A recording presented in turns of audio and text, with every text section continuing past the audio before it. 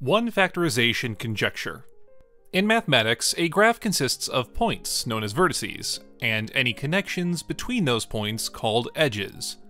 Any two vertices in a graph either are or aren't connected by an edge between them. This type of graph is not to be confused with the graph of a function, which is a different thing. The study of graphs is called graph theory. One special type of graph is a regular graph, where each vertex has the same number of neighbors, as in vertices connected to it by an edge. A vertex's number of neighbors is called its degree. A graph where every vertex has degree k is called a k-regular graph. For instance, a polygon-shaped graph would be a two-regular graph, since each vertex has two neighbors. The set of a graph's vertices is called its vertex set, and the set of its edges is called its edge set. You can build a new graph using subsets of these vertex and edge sets. The result is called a subgraph of the original graph. A subgraph is called a spanning subgraph if it contains all the vertices of the original graph, because it spans over all of those vertices. However, it does not have to contain all the edges of the original graph. A spanning subgraph is also called a factor of the original graph, and if it is k-regular, then it is called a k-factor. In particular, a one factor is also called a perfect matching, where you can match each vertex with exactly one neighbor. If you can find a collection of k-factors of a graph, where each edge of the graph is used in exactly one of these k-factors, then you have a k-factorization of the original graph. Now, for a game, let's choose a counting number n. If n is odd, choose another counting number k greater than or equal to n. Otherwise, choose k to be greater than or equal to n minus 1. Then let's draw a k-regular graph with two n vertices. For instance, k equals 7 and n equals 4 gives us a 7 regular 8 vertex graph. Whatever graph you drew, does it have a 1 factorization? According to the 1 factorization conjecture, which is an educated guess, the answer will always be yes. This conjecture is a long unsolved problem. However, it is known that if you make the degree k of a regular graph big enough, a 1 factorization of the graph must eventually be possible. A better result was obtained in a 1985 paper by British mathematicians Amanda Chetwynd and Anthony Hilton, showing that if k is greater than or equal to 12n divided by 7, a 1 factorization is possible. This is the best result achieved to date. Unfriendly partition conjecture. Let's visit the world of infinite graphs. In particular, we will consider graphs with countably infinitely many vertices meaning that the vertices of the graph can be put in a one-to-one -one correspondence with the set of natural numbers, 0, 1, 2, etc.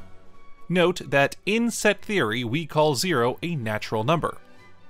Now let's consider grouping these vertices into two different sets, so that each vertex is contained in exactly one of these sets, and neither set is empty. Each new set is a subset of the set of all vertices.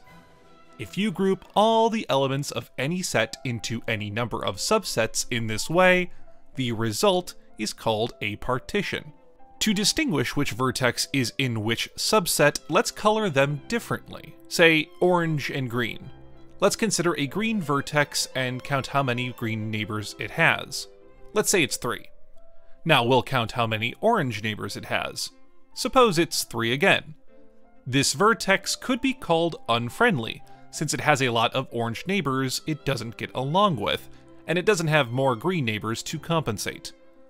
Suppose this applies to each vertex that has at least as many other colored neighbors as it has same colored neighbors.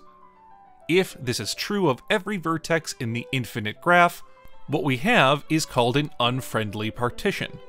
We will now assume the role of a spiteful god with two crayons. We want to color every vertex to form an unfriendly partition. Supposing we are given an arbitrary countably infinite graph, can we always succeed? Mathematicians have guessed that the answer is yes, creating the unfriendly partition conjecture.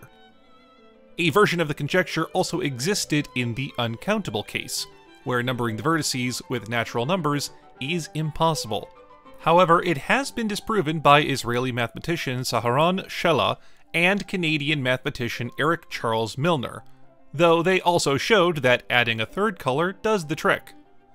For now, the two color countable case remains open, so whether our divine ambitions can be fulfilled remains to be seen. Hadwiger conjecture. The Hadwiger conjecture is a conjecture in graph theory, not to be confused with the Hadwiger conjecture in combinatorial geometry, covered previously. Let's start with colorings.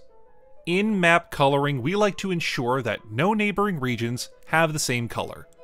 Similarly, a proper vertex coloring of a graph, or just coloring for short, assigns each vertex a color so no neighboring vertices are the same color.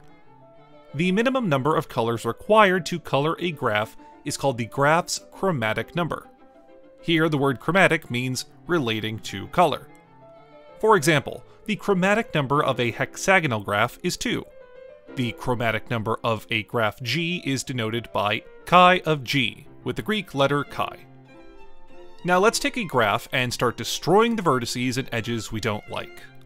We can also merge two connected vertices into one, eliminating the connecting edge in the process. This is called edge contraction. Doing these things however we like, our resulting graph is called a minor of the original graph. Our final required concept is called a complete graph. This is simply a graph where every vertex is connected by an edge to every other vertex. A complete graph of n vertices is denoted by kn. For example, if you draw a square and its diagonals, the resulting graph is called k4. Now, suppose we have some graph called g. Note that we're not allowing a loop, which is an edge that connects a vertex to itself. Now, Suppose we can't make a minor of g, which is a complete graph with t vertices, for some value of t, in other words, kt cannot be a minor of g. In that case, the Hadwiger conjecture states that the chromatic number of g must be less than t. As an example, we'll suppose that t is 7. That means we can't transform g into a complete graph on 7 vertices using vertex deletions edge deletions, and edge contractions. If the conjecture is true, then g's chromatic number, chi of g, must be 6 or less, meaning we'll need 6 or fewer colors for a proper vertex coloring on g. The Hadwiger conjecture was proposed by Swiss mathematician Hugo Hadwiger in 1943, and it remains unsolved today. One major paper on the topic was published in 1980 entitled Hadwiger's Conjecture is True for Almost Every Graph, which proves exactly what its title says. The paper was co authored by American mathematician Paul A. Catlin, Hungarian British mathematician Bela Bollobás, and Hungarian mathematician Paul Erdos, the latter of Erdos number fame. The paper's authors called the conjecture one of the deepest unsolved problems in graph theory. Total coloring conjecture. We've already looked at coloring the vertices of a graph, but we can color the edges as well. Let's take a graph and color all of the vertices and edges. We can't color adjacent edges or vertices the same, and we also can't color an edge the same as one of its endpoints. Once we are done, what we have is called a total coloring of the graph. If we do it in as few colors as possible, then the number of colors we use is the total chromatic number. For a graph G, the total chromatic number is denoted by chi double prime of G. Now let's consider the degrees of the vertices of G. As a reminder, a vertex's degree is the number of neighboring vertices it has. The highest degree a vertex of G has is called the maximum degree of G, denoted by delta of G. Given a graph's maximum degree, what do we know about its total chromatic number? Suppose this maximum degree is 7, that means there must be a vertex of the graph with 7 neighbors, so there are 7 edges connecting it to those neighbors. All of those edges share a vertex, so they are adjacent to each other, meaning they must all be colored differently. Additionally, the vertex itself must have a different color from those edges. So, the total number of required colors for this graph can't be any less than 8. In general, the total chromatic number of a graph is always greater than or equal to its maximum degree plus 1. Now that we have a lower bound on the graph's total chromatic number in terms of its maximum degree, can we find an upper bound? Well, we do have a guess for one, that being the total coloring conjecture by Iranian mathematician Mehdi Behzad and Ukrainian mathematician Vadim G. Vizing. It states that the total chromatic number of a graph is at most its maximum degree plus 2. This would very tightly constrain a graph's total chromatic number to be either one more or two more than its maximum degree. Note that we do now have a proven upper bound of the form delta of g plus a constant.